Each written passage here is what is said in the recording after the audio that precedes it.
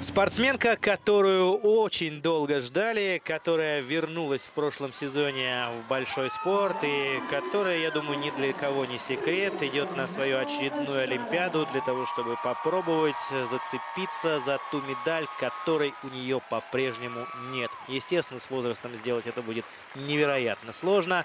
Это великолепная 26-летняя, уже сейчас ну, почти легендарная, скажем так, фигуристка японка Мао Асада, у которой так и нет олимпийского золота.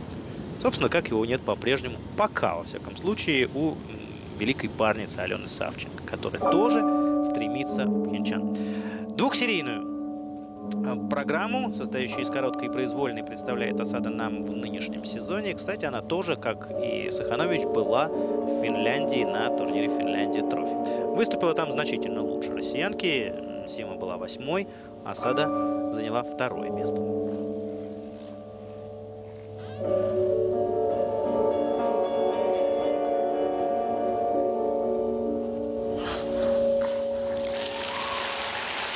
Прыжок, который традиционно стоит в самом начале программы японки, но когда он исполнен на один оборот больше, конечно, он и баллов приносит значительно больше, и впечатление производит куда как более ярко. Аксель 2,5 чисто.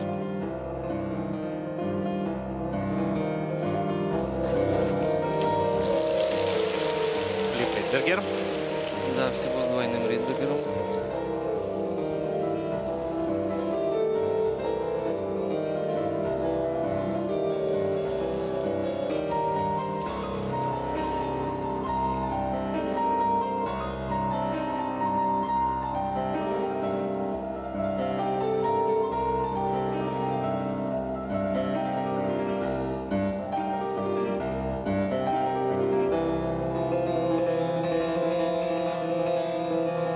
Ридбергером.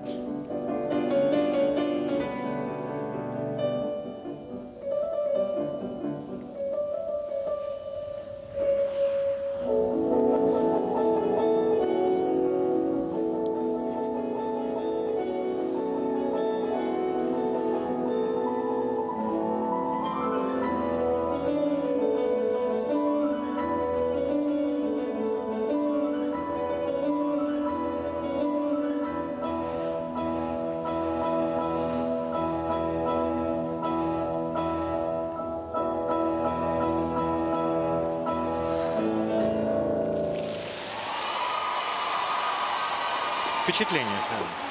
Ну, чистый прокат, в первую очередь, это самое важное. Я, честно говоря, э, почему-то ожидал увидеть каскад 3-3, э, но смотрю, что был, как и был заявлен тройной флип, двойной Ридбергер. Э, так она его исполнила. Не удалось посмотреть Финляндию трофи, где, в общем-то, многие сходились на мнении, что Мао сейчас не способна прыгать 3-3, во всяком случае, в Эспо она как раз в основном 3-2-то и прыгала. Ну, э, знаете, во-первых, это начало сезона, судить поэтому не стоит. Я думаю, что мы все поймем по ходу сезона. Ну, если, если и так, не важно, потому что программа была красивая, интересная и э, исполнена чисто.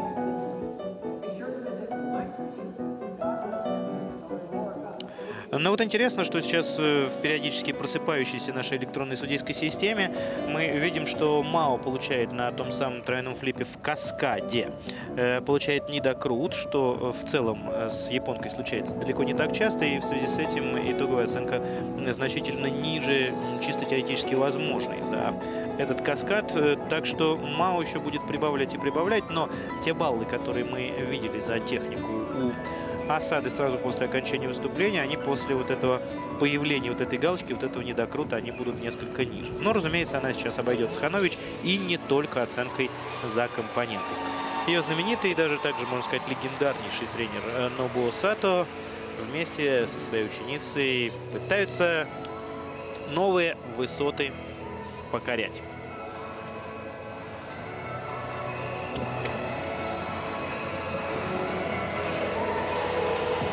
Заслужены ли такие оценки за компоненты?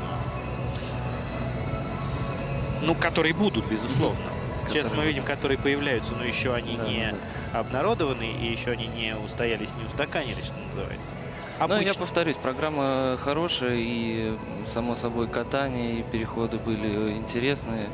А, Ее имя говорит, опять же, само за себя, поэтому э, оценка за компоненты такая, какая должна быть, наверное. То есть Другое дело, что не стоит ожидать сейчас какой-то... сверхъестественных баллов. А баллы вполне себе естественные. 64,47 сотых балла, то бишь 64,5 в ближайшем приближении. Мао первая. Набирает больше 60. Естественно, она первая по сумме пока.